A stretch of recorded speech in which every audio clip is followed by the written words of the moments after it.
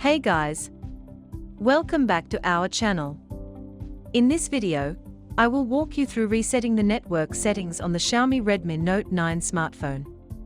Feel free to refer to this tutorial video if you need help restoring your Xiaomi Redmi Note 9's default network configuration. Network connectivity issues in mobile devices are inevitable as they can be triggered by many different factors.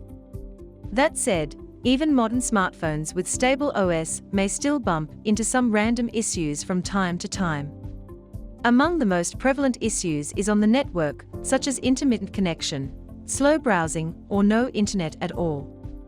Network problems in mobile devices can be attributed to a faulty modem or router in use, server errors, unstable signal, account-related issues, as well as invalid or incorrect network configurations.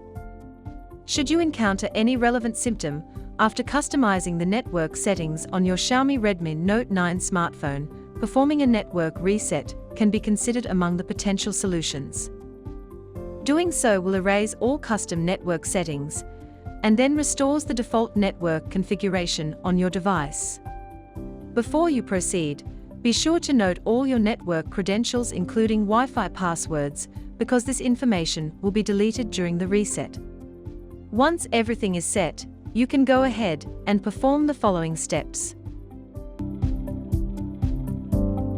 From the home screen, tap the settings icon to get started. Doing so will let you access the main settings menu with all the basic features and settings you can manage. To continue, tap Connection and Sharing. Relevant features such as Mi Share, Cast, Printing, VPN, and other wireless connectivity features will load up on the next screen. Scroll down to view more items. Then, select the option to reset Wi-Fi, mobile networks, and Bluetooth. Read and review the following information, and then tap Reset Settings at the bottom. A pop-up warning will appear beneath the screen. Read the warning prompt and then tap OK to proceed. The network settings reset will then instigate. When the reset is finished, your phone will restart automatically. After the reboot, you can start re-enabling necessary network features including Bluetooth and Wi-Fi.